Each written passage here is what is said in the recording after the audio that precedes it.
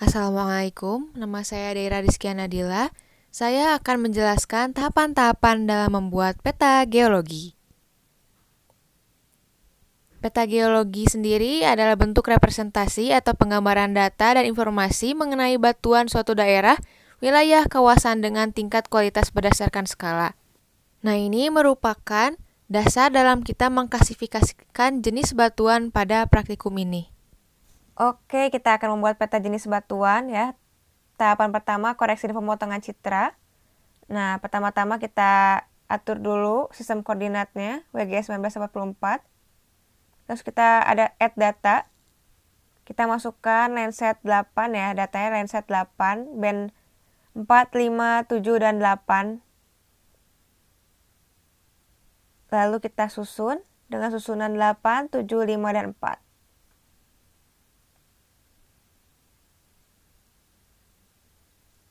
Selanjutnya, klik Windows, Image Analysis.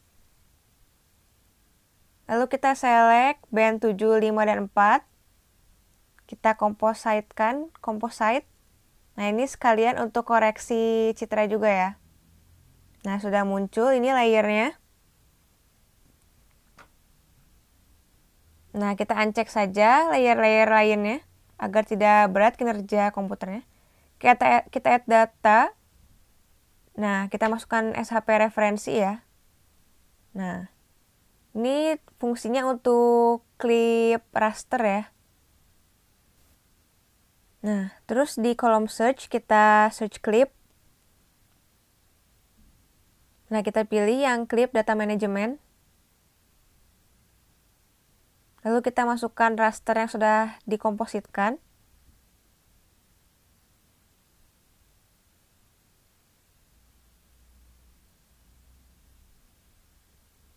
Lalu untuk outputnya kita klik SHP referensi. Lalu kita klik OK. Nah, kita tunggu sebentar ya.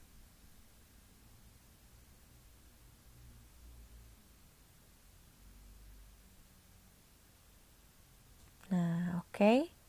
Sudah muncul ya. Kita uncheck saja layer-layer lainnya agar tidak memperberat kinerja. Nah, oke. Okay. Kita uncek juga kayak referensinya. Nah, oh ya sebelumnya kita beri nama agar tidak membingungkan ya.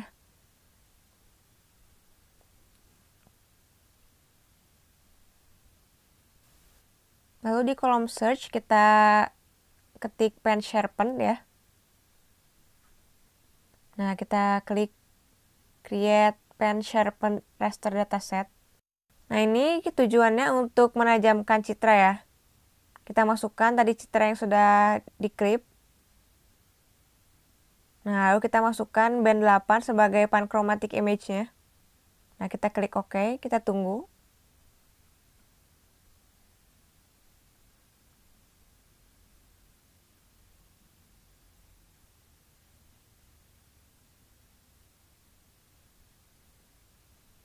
Nah, sudah muncul ya bisa kita bandingkan yang sudah ditajamkan dan yang belum ditajamkan. Hasilnya cukup berbeda ya. Nah, kita beri nama ulang agar tidak membingungkan. Nah, sekarang kita masuk ke tahapan kedua. Nah, sekarang kita akan memulai tahapan klasifikasi. Tidak terbimbing ya. Nah, kita masukkan kelasnya 4. Lalu kita klik OK. Kita tunggu sebentar ya.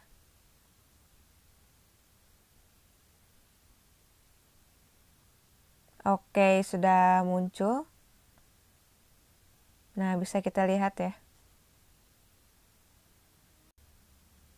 Nah, bisa kita atur warnanya. Untuk saat ini kita atur warnanya sesuai dengan citra yang tadi ya agar mempermudah kita e, mengisi tabel atribut ke depannya. Nah, kita beri nama ulang ya layernya. Kita masuk ke tahapan ketiga, konversi data. Nah, kita konversi data yang sebelumnya ini formatnya raster menjadi poligon. Nah, buat apa? Biar kita bisa menambahkan tabel atribut ya. Nah, ini sudah muncul. Kembali lagi kita edit dulu warnanya sesuai dengan data raster yang tadi ya. Buat apa? E, agar mudah kita klasifikasinya. Maksudnya agar mudah kita mengisi tabel atributnya.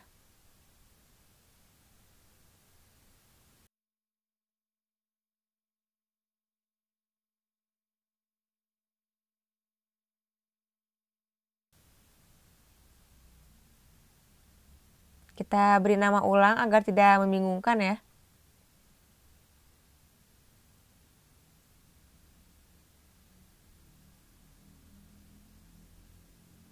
Oke.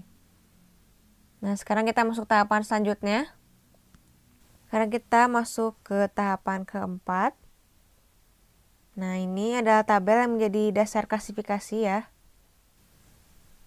Nah, kita open attribute table, lalu add field, Nah, kita beri nama field barunya jenis batuan. Untuk tipenya sendiri kita pilih teks ya. Lalu klik OK. Oh, seharusnya tadi bukan spasi ya, tapi underscore.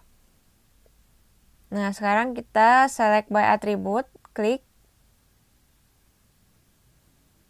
Nah, klik grid code. Nah, get unique values. Oh, oh kita start editing dulu di editor. Klik start editing. Nah, kita klik layer jenis batuan.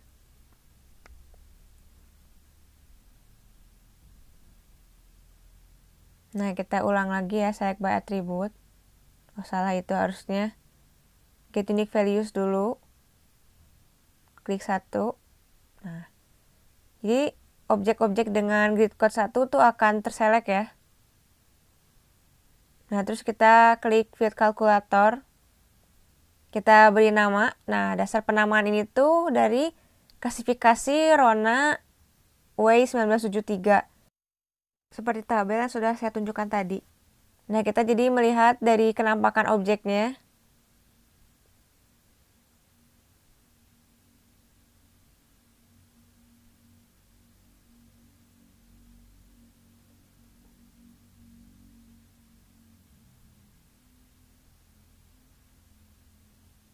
Untuk objek-objek selanjutnya itu stepnya sama ya. Hanya berbeda grid code dan ya tentunya namanya.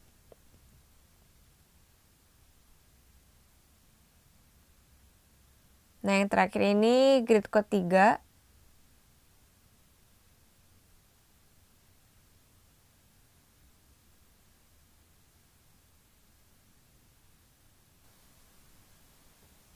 Nah, untuk grid code 3 ini tadi kita bisa lihat di citranya ya warna ungu itu cukup seragam ya. Nah, kita klasifikasikan sebagai batuan sedimen horizontal.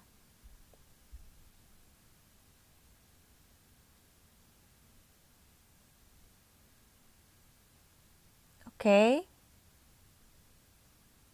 Nah, sudah selesai ya. Kita clear dulu selectionnya. Nah, terus kita stop editing. Kita save dulu. Oke. Okay.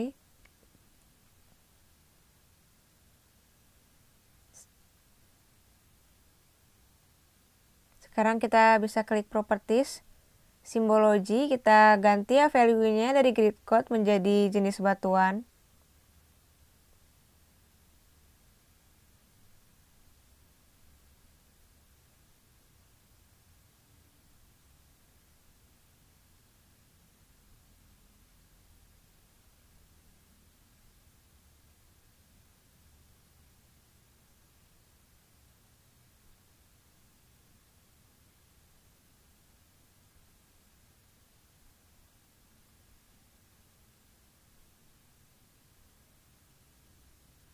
Oh ya, terbalik ya ini saya pewarnaannya.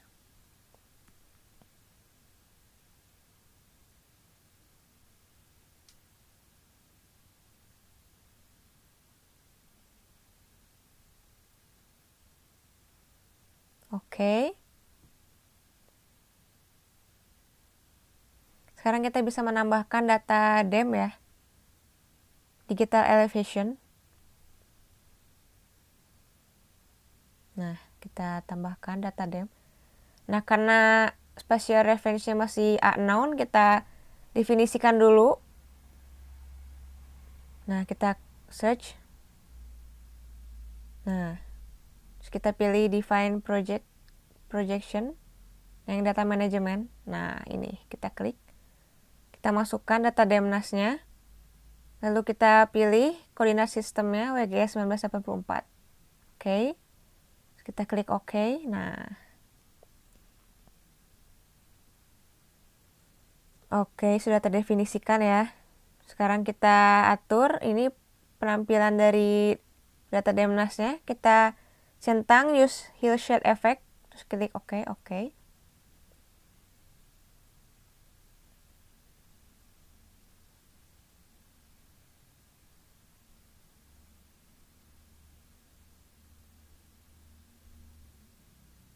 Nah, terus kita atur ya transparansi dari jenis batuannya.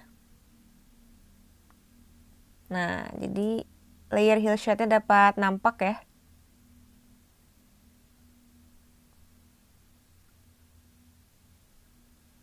Oke, sekarang kita akan menambahkan batas administrasi. Oke. Nah, kita atur menjadi hollow ya. Nah, terus outline-nya satu. Warnanya hitam agar garisnya tegas ya. Nah, dapat dilihat. Sekarang kita akan mengatur label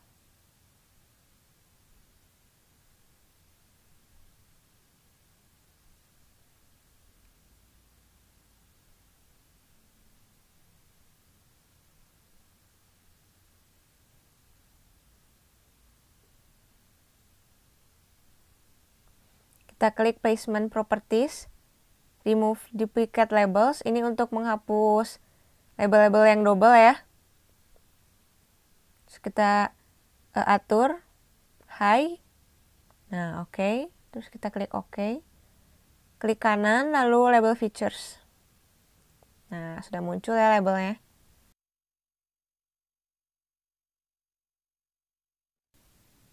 Nah, manfaat dari peta geologi adalah mengetahui susunan batuan dan material yang berada pada wilayah tertentu, membantu pengambil kebijakan terkait kesesuaian pemanfaatan lahan berdasarkan jenis batuan, sebagai salah satu dasar pembuatan peta litologi atau jenis tanah, mengetahui potensi bencana dalam hal ini erosi melalui identifikasi batuan pada wilayah tertentu.